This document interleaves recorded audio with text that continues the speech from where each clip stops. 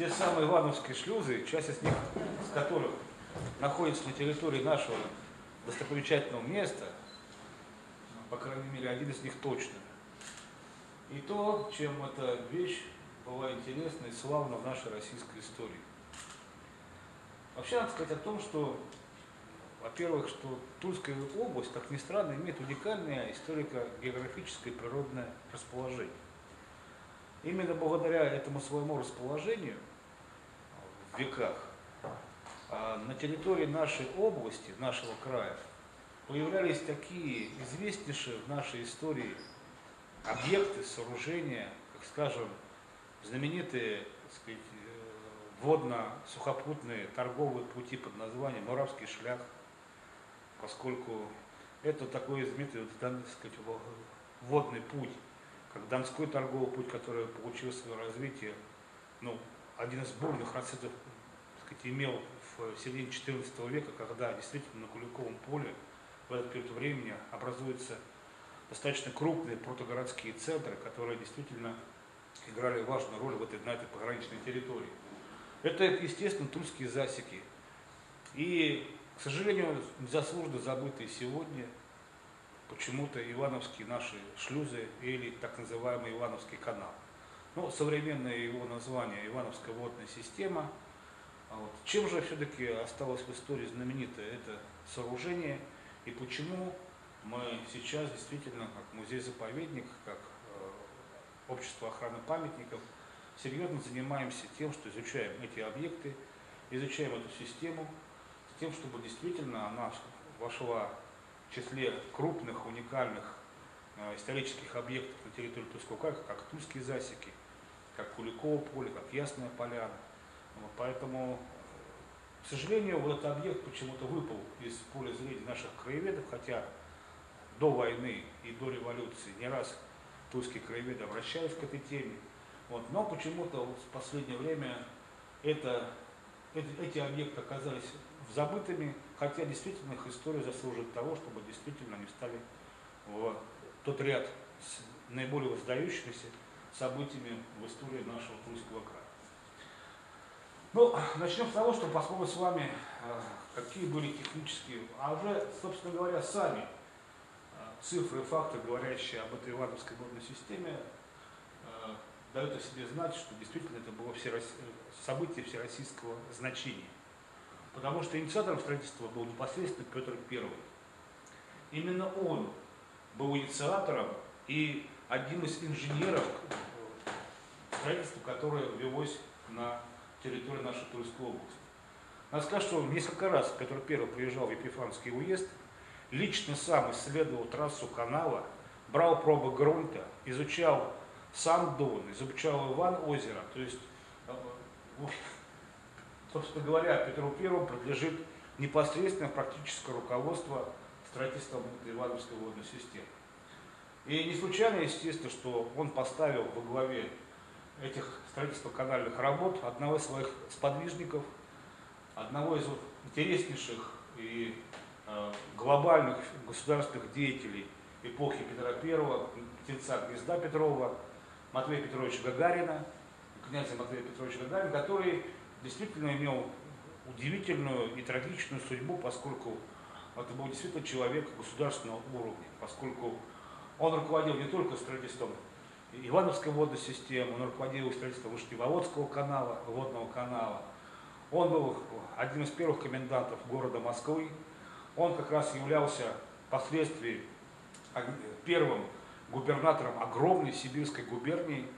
Вот. Но, к сожалению, по, как в конце его деятельности, в конце 1710-х годов, а вот, было назначено следствие, которое вывело многочисленные сказать, недостачи, казнократства в его деятельности. А, и по решению суда э, в 1721 году Матвей Петрович был казнен э, в Петропавловской крепости города Петербурга. Надо сказать о том, что для строительства канала были привлечены иностранцы, но это не случайно, что Петр I испытывал особую любовь в Голландии, тем не менее здесь как бы прежде всего э, играла роль то, что как раз голландцы, Голландия как бы страна на воде, вы хорошо знаете, поэтому действительно, так сказать, они были одними из немногих специалистов в Европе, которые умели, знали, как строить эти каналы. И, соответственно, поэтому именно выбор на Голландию и на голландских инженеров пал в этой, в этой связи. А строительство началось не позднее лета 1701 года, только были заготовлены материалы. Ну и поражают сами, собственно говоря, масштабы работы.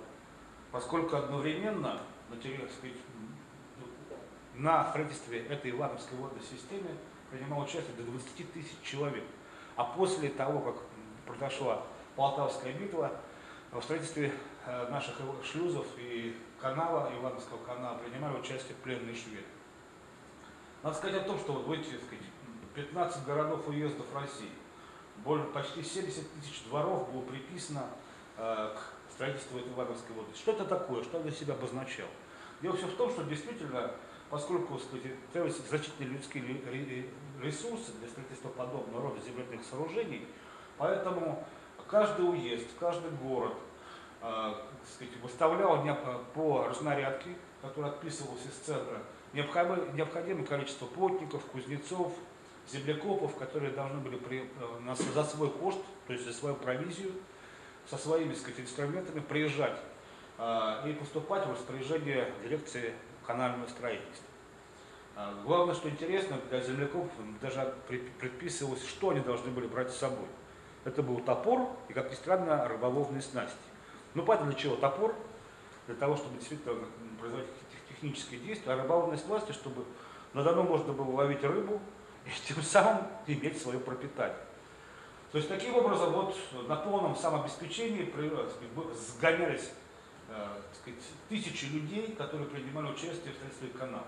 Конечно же, по своей длине более 200 верст, начиная от города Тувы и кончая деревнями Гаями э, Рязанской области, ну почти 210 километров, грубо говоря, занимала трасса этого канала. По своим масштабам, по своей протяженности, это было э, для своего времени, то есть для начала 18 века, крупнейшее гидротехническое строительство а, по замыслу Петра I. Ну и вот общее число шлюзов, которое было закончено в Петровское время, составляло 33 шлюза. И самое интересное, что весной 1707 года, по некоторым данным, которые, правда, оспариваются, но тем не менее эти данные есть, по весне, то есть когда была наиболее высокая полая вода, была проведена проводка первых 300 судов по этой Ивановской водной системе. Можно сказать, что это была, она уже была рабочей к тому времени, то есть к 1707 году основное канальное строительство было уже завершено. Именно к этому времени был построен уже 31 шлюз из 33, поэтому можно было проводить естественно. Ну и, собственно говоря, основные строительные работы были завершены в 1720 году.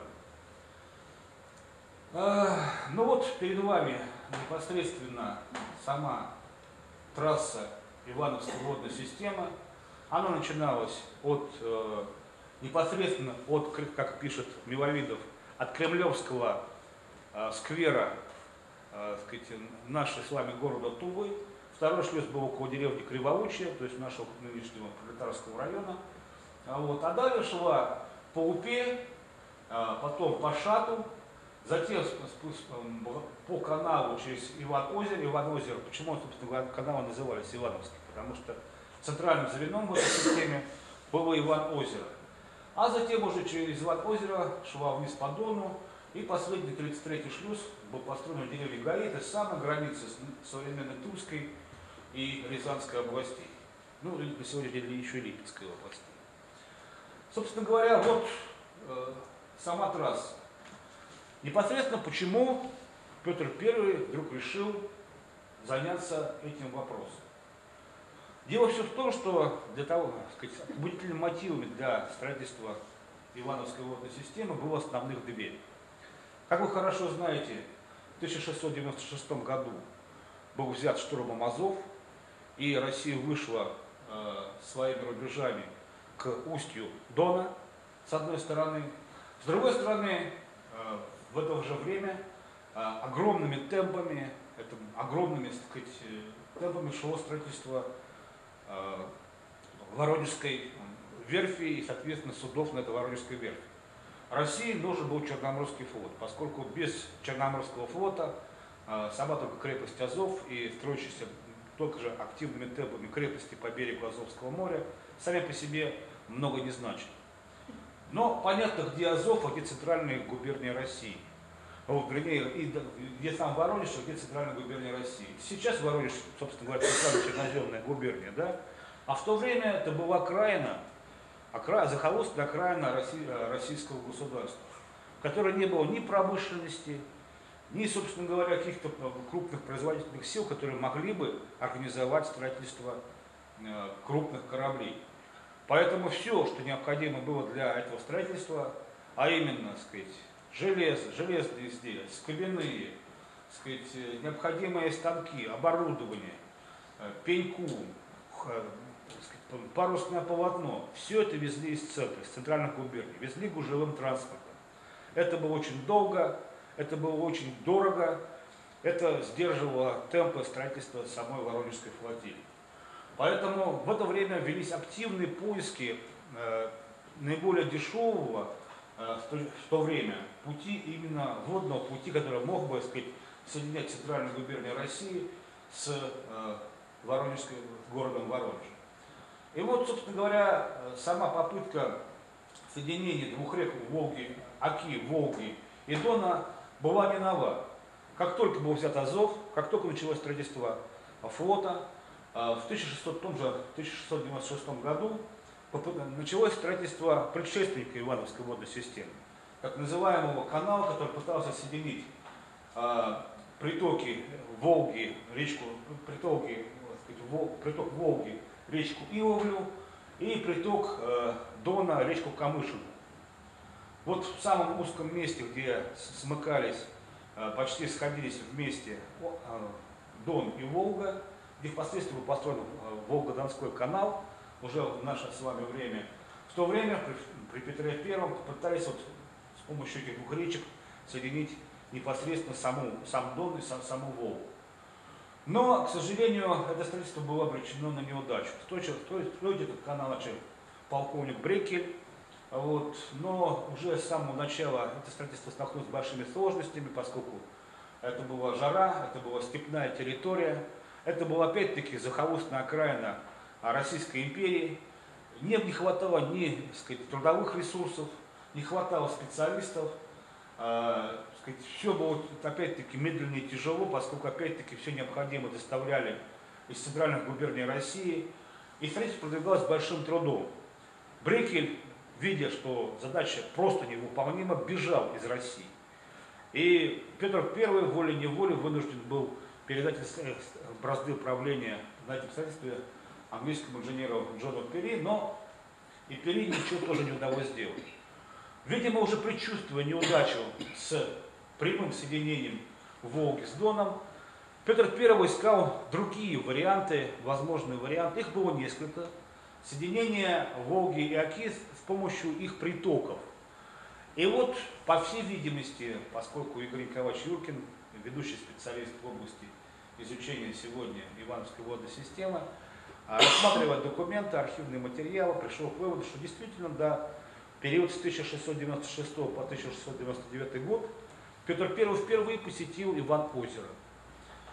А, видимо, сказать, было несколько точек зрения на то, где, как, как продолжать соединять Волгу с Доном, но тем не менее выбрана была Упа и Верховье Дона.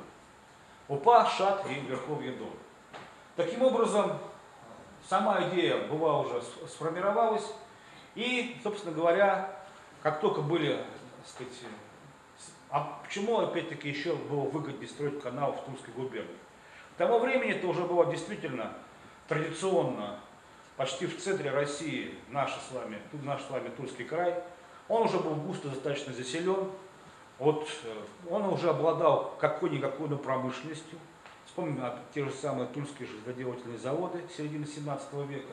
То есть таким образом строительство его было намного дешевле и проще, чем где-то там далеко, порядка в 400 километрах от Иван-озера, строительство этого Ивановского канала. Не Ивановского, а канала Камыш, Камышинки и Овли. Поэтому вот начались работы. Надо сказать, что основ... вот здесь мы перечислили, постарались перечислить в основном, какие виды были работ делалось. Действительно, это была, я бы сказал так, гигантская, э, сказать, э, гигантское переломление нашей природы. Дон поменял свое течение кардинальным образом. Сейчас, оглядываясь на те остатки, которые сохранились до нас с того времени, мы понимаем, что на, сказать, в своих верховьях от деревни Гаев до Иван-озера Дон поменял свое течение практически на 70%. Вот можете себе представить, какие гигантские земляные работы были проведены в это время на э, участке Дона. А что из себя представляла, собственно говоря, сама Ивановская водная система?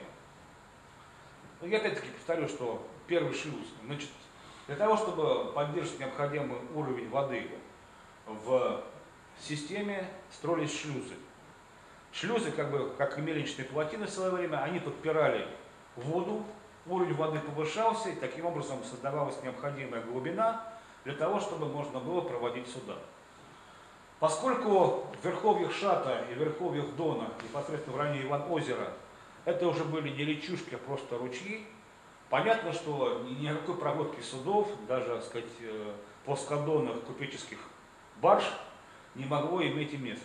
Поэтому э, Иван-озеро было значительным образом углублено, а вдоль Шата и вдоль Дона были сделаны прямые, как стрелы, ровные каналы определенной ширины. Тот груд, который вынимали из э, канала, укладывался непосредственно по бровкам самого канала, образовывались такие обваловки, что позволяло еще более поднимать уровень воды в самом канале. Поскольку само течение Дона оставалось в стороне. Вот можете себе представить, что от Иван-озера до устья Лютрич, а это практически 40 километров, это был канал. То есть копали рукотворный канал в стороне от Дона. Как правило, это была э, с восточной стороны от Дона. Вот, рыли этот канал, сооружали шлюзы. Шлюзы себя представляли э, сказать, э, примерно 20 на 40 метров такие каменно-деревянные ящики с двумя воротами, с помощью которых регулировалась вода. Ну, сами, если кто представляете себе сам, сам механизм шлюза. Сказать, сначала судно подходило к одним воротам сверху по течению, значит, открывались ворота, вместе с уровнем воды сказать, э, в шлюз заходило судно, эти ворота закрывались верхние, нижние открывались. Вода потихонечку уходила вниз, и вместе с ними судно уже более на низкой ступени уходило дальше до следующего шлюза. Поэтому вот таким образом и, собственно говоря, действовали те примитивные каналы, которые мы сегодняшний день имеем место увидеть. Но, как вы видите, самой себя шлюзы, вот вы можете увидеть, это более, конечно, поздний план начала 19 века, тем не менее, это представление о том, как сооружаются эти шлюзы. То есть, опять-таки, на сухом месте, э, непосредственно рядом с берегом Дона, сооружались вот такие вот э, сооружения, э, которые имели такие вот прямоугольного вида бассейны, э, из которых облицовывались веневским э, известняком, такими растованными квадратного типа блоками, вот, и в которых были, вот эти ящики имели деревянное дно и деревянные ворота, которые вращались на так сказать, бронзовых или медных подпятниках, массивные ворота. Вот так, собственно говоря, строили шлюз. А, можно себе представить, ну вот планы 18 века, конца 18 века нам представить, вот видите, белые черточки такие, да, вот старая русло хорошо видно, вот он идет. А рядом с ним, вот видите, идет копанный канал. Вот он идет канал копанный, вот он обозначен копанный канал идет, вот видите, где-то уже к концу 18 века Дон тек по каналу, где-то он прорыл себе, вернулся в свое старое русло. Но тем не менее, вот эти сооружения сохранились даже на планах, по уездных планах э, генерального межевания конца 18 века.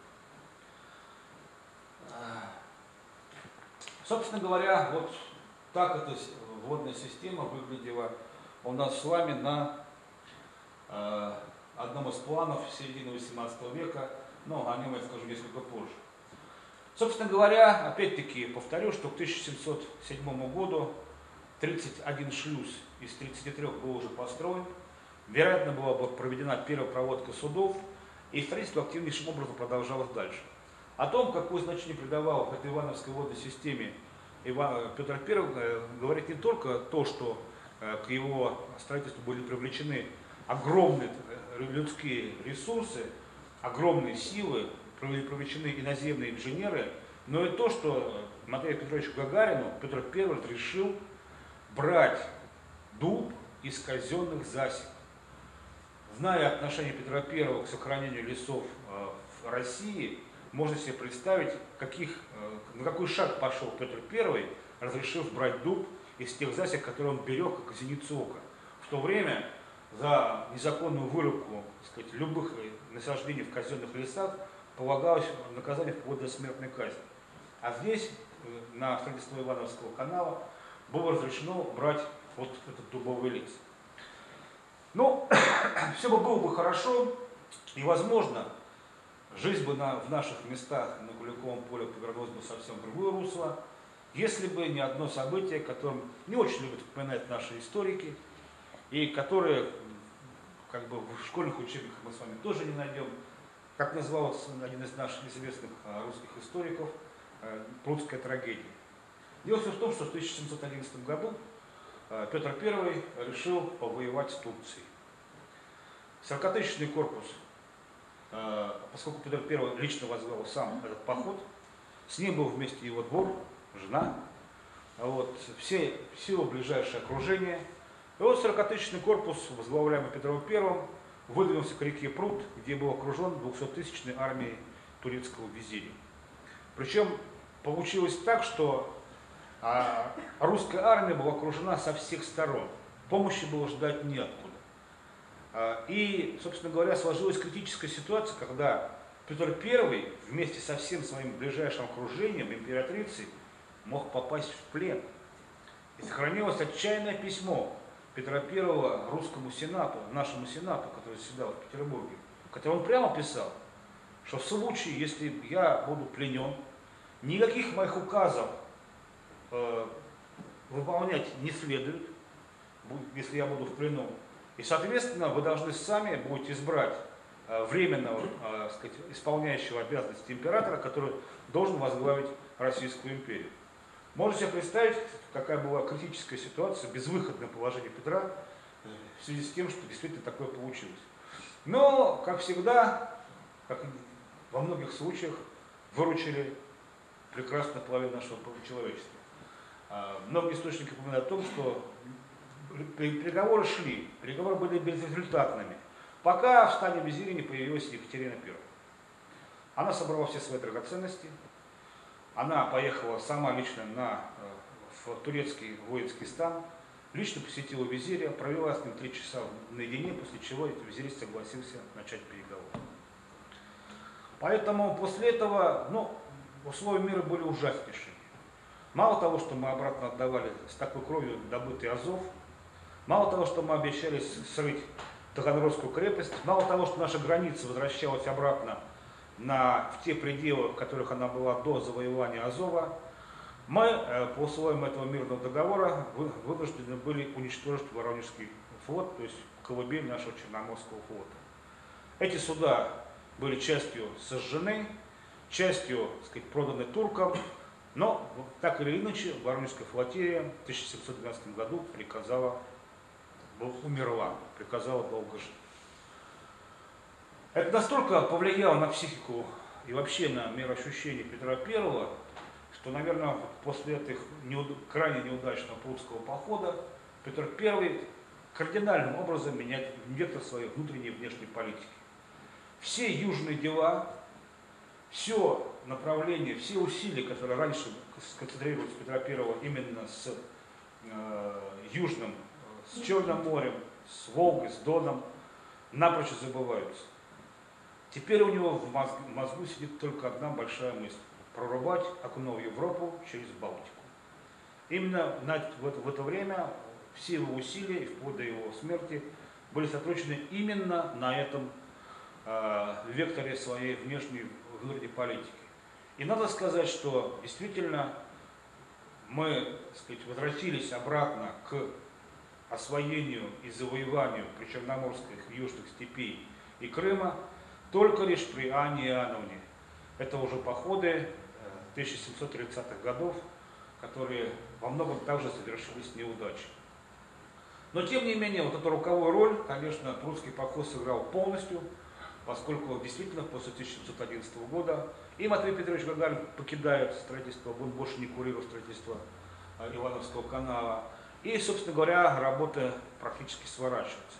Но так был велик потенциал этой стройки, настолько громадные и людские, и материальные ресурсы были вовлечены в этот а, проект, что так как быстро остановиться оно просто-напросто не могло. Петр Первый еще несколько раз обращался к тому, как же все-таки строится канал.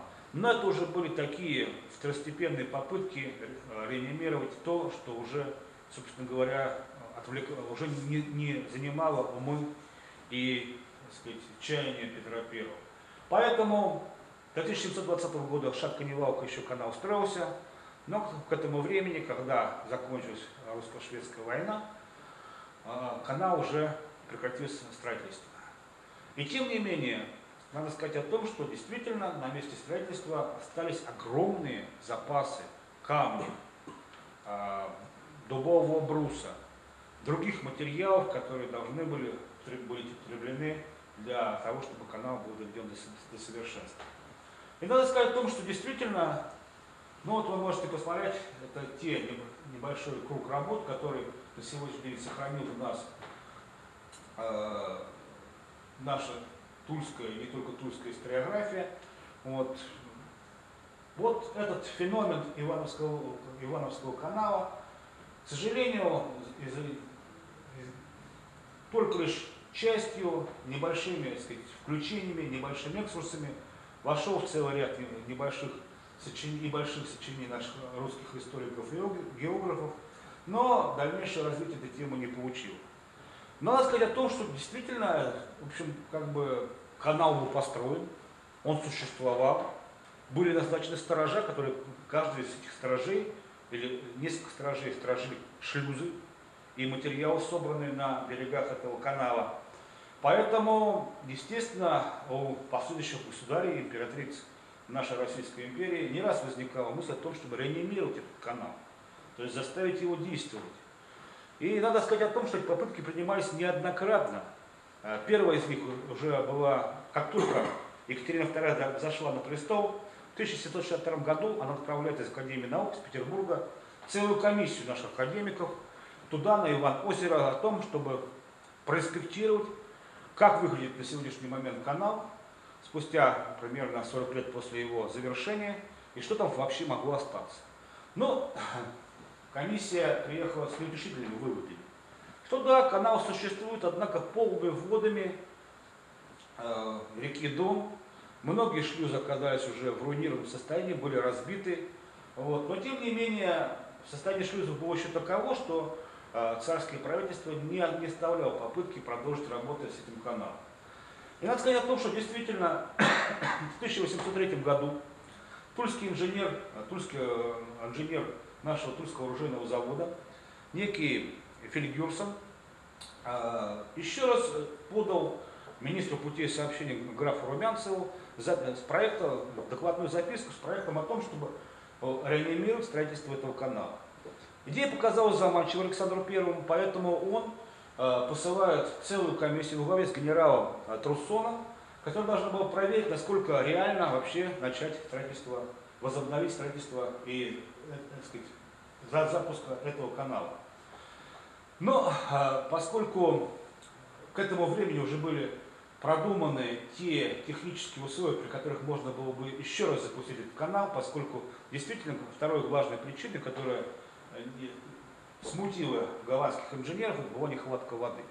Так вот, Труссон придумал следующую вещь. Он решил создать на притоках Шата и Дона резервуары с водой создавались огромные пруды, в которых накапливалась вода. И по мере того, как она была необходима, эта вода сбрасывалась в Ивановскую водную систему, тем самым повышался уровень воды в Дону, и эта система могла существовать по, по мере того, как эти резервуары опять накапливались водой. И надо сказать о том, что действительно в конце 1810-х годов был построен еще дополнительно три, три э, шлюза на Шаке, но наступил грозный 1812 год. Конечно, ни о каком строительстве дальнейшего канала и речи быть не могло, об этом проекте забыли. Однако к нему вернулись в 1840-х годах, когда опять-таки граф Толь обратился к министру путей сообщения с тем, чтобы действительно начать по новой строительство. И опять была послана комиссия, очередная комиссия на Ивановский канал. Но комиссия пришла к неутешительным выводам, что, к сожалению, увы, времени прошло слишком много, много разграблено, и, собственно говоря, строительство канала уже не рентабельно.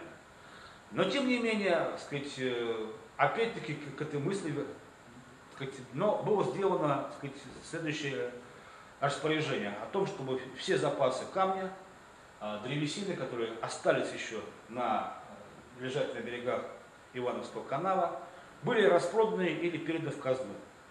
Так наш с вами тесный известняковый камень, который предназначался для дальнейшего развития этой водной системы, попал в фундамент белокаменные цоколи наших храмов вдоль Дона, в том числе храма Рождества Богородицы.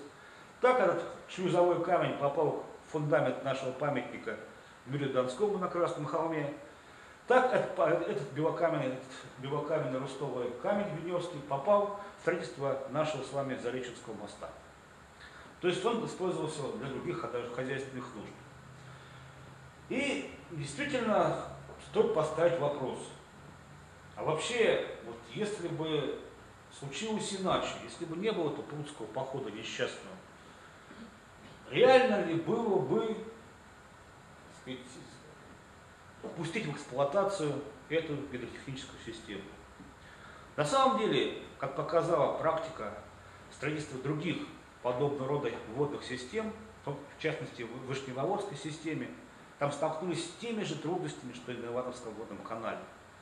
Но, к сожалению, для нас, к счастью для Вышневолодской системы, там нашелся умнейший, один из выдающихся гидротехнических инженеров того времени, Михаил Иванович Сердюков, который после того, как бросили, отчаявшись э, с Вышневолодской водной системой, голландские и английские инженеры, довел ее до ума, и она на не действует. Вот почему-то ни Демидова, ни Сердюкова, для, к сожалению, для наших Ивановского канала не нашлось. Я думаю, что вполне вероятно, что с теми техническими проблемами, которые существовали на этой Ивановской водной системе, справиться было бы возможно. Но ни политической воли, ни частной воли, к сожалению, в Тульской губернии и ее окрестностях не нашлось. И Ивановский канал был забыт. И вот в книжке 1985 года некого Плечко, который описывает древние водные пути нашей с вами России, мы читаем, что от Ивановского канала поскольку он был разрушен полностью, не осталось ничего. И этому можно было бы поверить, действительно, поскольку мы хорошо знаем, что в конце XIX века э, современники писали, что существовали целые строительные артели, которые брали в аренду земли, на которых располагались сами Ивановские шлюзы, добывали из Ивановских шлюзов этот тесный камень и другие железные конструкции, медные конструкции и продавали их. Видимо, это был действительно очень хороший прибыльный промысел, поскольку Действительно, вот таким способом добывали тесанный известняковый камень, продавали его и получали прибыль. Поэтому действительно стоило подумать о том, что действительно искать нам ловить больше нечего. И как хуже было наше изумление, что ловить-то много чего. И действительно есть что ловить. Оказывается, ну, к сожалению, конечно, Иван-озеро скрыто ныне под Шацким водохранилищем. И значительная часть того канала, который был прорыт а, вдоль э, самых-самых верхушечек Дона, не сохранился. Он находится под водой сказать, Ивановского водохранилища. Но, тем не менее, вот храм села Иван-озеро, и тут белокаменный камень, который лежит э, в основании этого храма, этот камень из ивановских шлюзов Ивановской водной системы. Спорим, даже тот картографический материал, который есть на сегодня, это карта 50 тысячного размера, то есть в одном сантиметре 500 метров,